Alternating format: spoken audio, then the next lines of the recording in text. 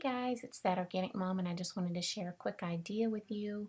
This is um, my upstairs hallway and these are my children's bedroom doors.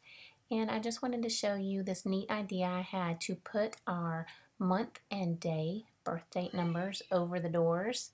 Um, yes, that's my laundry room there and I love my little sign boys bathroom there and then the last two bedrooms in the hallway I need to get the third number for this room but um, if you have a shared room you could put their combined birth dates or one over the top of the other. So that's my idea for personalizing your kids bedrooms